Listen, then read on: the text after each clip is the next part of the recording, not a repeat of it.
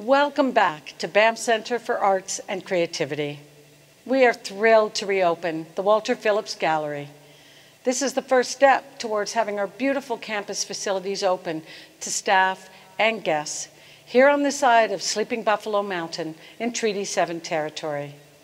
We invite you to visit us and explore the art exhibition, Darkness is as Deep as the Darkness Is, by Calgary-based artist Rita McKeough. It's free and open to all. Visiting the gallery will require that you make an appointment on our website.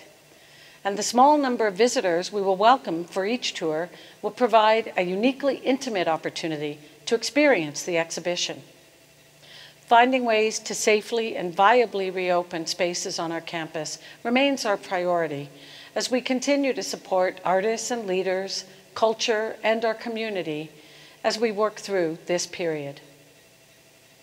Banff is implementing increased measures to ensure the safety of our guests, staff, and visitors in reopening the gallery during COVID-19.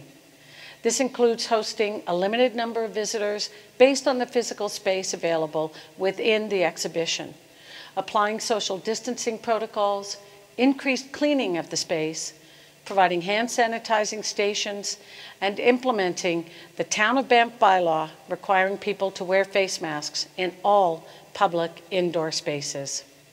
We hope to welcome you soon to the Walter Phillips Gallery.